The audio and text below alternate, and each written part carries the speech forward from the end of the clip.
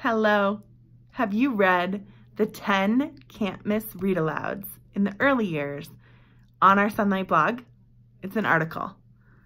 And Deana has identified 10 books that she suggests that every Sonlight family reads. Do you agree? Let's take a look at the books. The first book Deana identifies is The Hundred Dresses. This book is about a group of girls who makes fun of another little girl.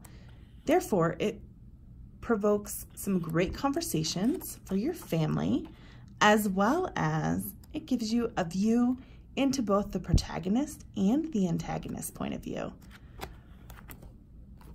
The second book is George Mueller.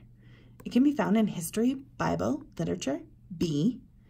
And this is a very excellent book on how George became the guardian of the Bristol orphans, knowing that he had to help all these kids who didn't have families.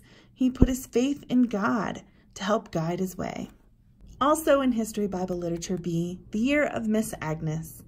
Miss Agnes was a rural, a rural community teacher, and she made an epic impact on her students in multiple ways. And the last one from History Bible Literature B, Detectives in Togas. Who doesn't love a good mystery? And this one's set in ancient Rome. Your family will love to figure out what's gonna happen next. Part of History Bible Literature C, Gladys Aylward.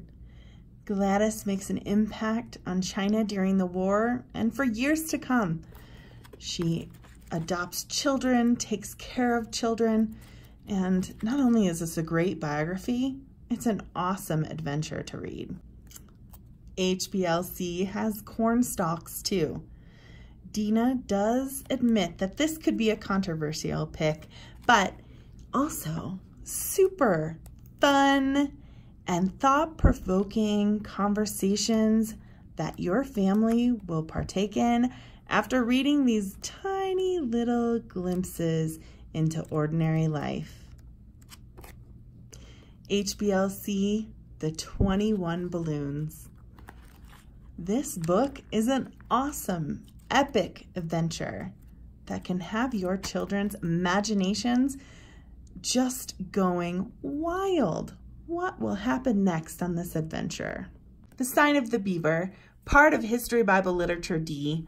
This is an epic tale of a little boy lost in the woods, who finds solace, friendship, and learns survival skills from the Native Americans around him.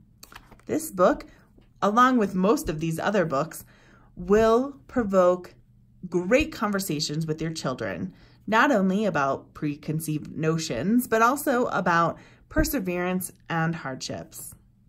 Another History Bible Literature D book, Walk the World's Rim, Talk about thought-provoking conversations with your children.